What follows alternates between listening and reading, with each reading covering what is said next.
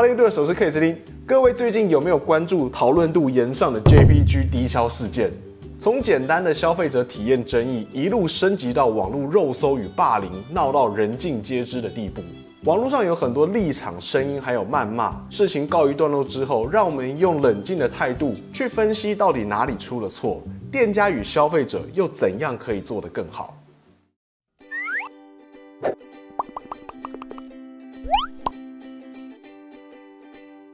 影片正式开始之前，我要先跟各位说，平时我基本上不会特别针对客诉或者餐厅疏失去讨论什么，但这次的事件刚好触及了很多消费者跟餐饮业者彼此相互不了解的层面，不如一次把问题提出来，好好的讨论。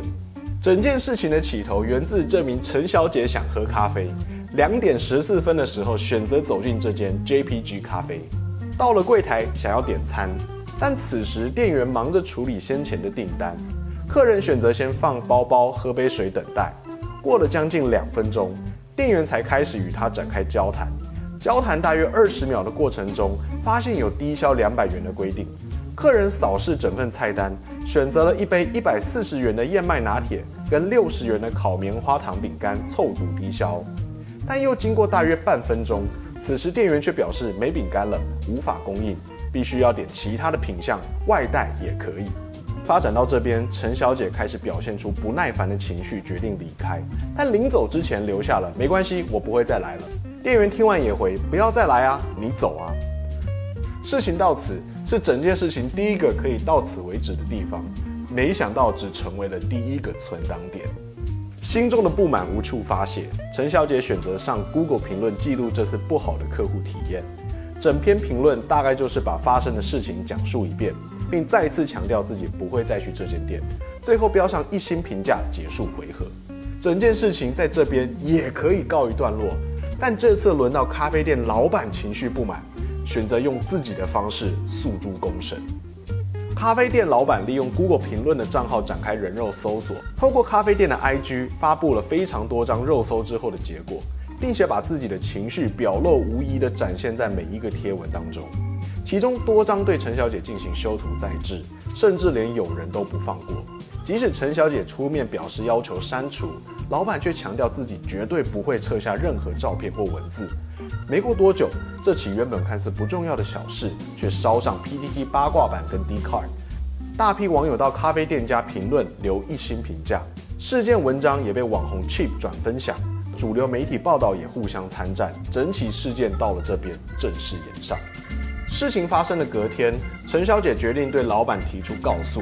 过几天，JPG 咖啡的老板在社群上公开道歉，并表示 JPG 咖啡将停止营业，希望这起事件到此为止。事情发酵时，网络上的声量几乎一面倒支持陈小姐。我在这边不琢磨太多网络上的言论。单纯就按照我所看到的事情去做分析。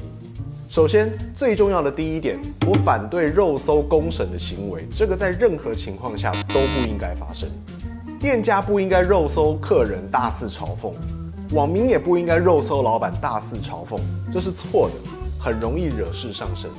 我反而会想，假如我是客人或老板，我应该怎么做？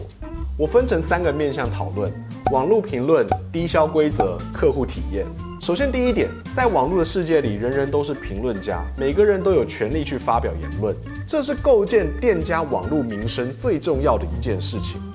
我向来都是支持大家去留言评论的，但这必须要是自己的亲身经历才可以。无谓的跟风、群情激愤、言论攻审，这无形都是对店家造成伤害。网络上简单的一言一行，都在真真切切的影响餐饮人们的生活。咖啡店老板公审客人的行为，我再次强调很不应该，也是这事件当中大家最气愤的主因。我相信大多数人都认同，当一间店被刷负评的时候，店员的角色是相对弱势的。网络效应有可能让一间店面临重大变故，员工赖以为生的工作有可能受到影响。人已经很难找了，发生这件事情只会让餐饮界更难找人。再来讨论低消规则。这算是餐饮业者的一个保护机制，确保在每笔交易当中能够获利。每间店都有自己的低消规则，怎么定当然是店家的权利，但是也有责任去合理的照顾客人需求，否则很容易造成纠纷。这次问题症结点在两百元的低消，但各种品相的咖啡都不足两百元。店家聪明的安排六十元的棉花糖饼干，却在当天供货不足，能补消费的只有单价超过两百元的松饼。精明的台湾消费者当然一眼就看出店家的用意。这也是为什么大多数的咖啡店低消都设定成叉叉叉元或一杯饮料。毕竟咖啡店就是让人来喝咖啡的，强迫客人硬要点餐，很容易就让客人满头黑人问号。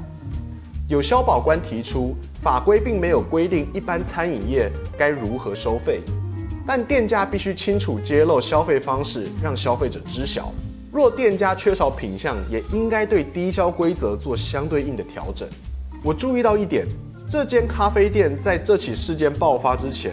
Google 评论上已经有些人留有负评，原因包括开店不准时、不准使用闪光灯，或者冷气开太强把咖啡吹冷等等。这就回到了店家重不重视客户体验这件事。刚才提到店员很弱势，事实上他确实孤单一人，无人可助。陈小姐在进门以后，店员要将近两分钟才有时间处理她的需求。这就凸显了人员不足、内场当外场的状况，工作接应不暇，店员也很难有好的情绪去处理客人需求，直接导致了这起事件中陈小姐的不满情绪直线飙升，最后诉诸网络。外场员工的情绪或者接待 SOP，这都与餐厅的教育训练有着密不可分的关系。我一直认为，台湾餐饮业老板或者消费者在面对外场人员的时候，都容易缺乏足够程度的尊重与追求专业的态度，甚至外场人员自己都会忽略自我要求，以为自己就是来打杂当受气包的。这也是为什么我对米其林颁发服务大奖举双手赞成。外场人员所需要的专业与自我要求，完全不会输给内场主厨。客人应该也要尊重专业，而不是把外场当小弟，可以尽情的颐指气使。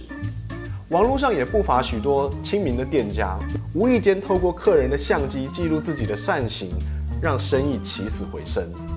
国外有人到饼干店故意说自己没钱，老板听到以后好心给他一块免费饼干，想不到这个人竟然掏出一千美金感谢他。也有网红到一间快倒闭的店家，老板不认识网红，但依然对进门的客人很好，请喝饮料。也因为食物美味，所以在影片出来之后直接咸鱼翻身。上面两个例子虽然说有一点为了拍片而制造效果，但不会改变你对人好人对你好的逻辑。老板对员工，员工对客人，客人对员工，员工对老板。好的店家会重视这些事情，而好的客人也会重视。我是克里斯汀，对这起事件如果有什么想法，欢迎在底下留言理性讨论。喜欢这期影片的话，也请你按赞、分享、订阅频道。我们下期影片再见，拜拜。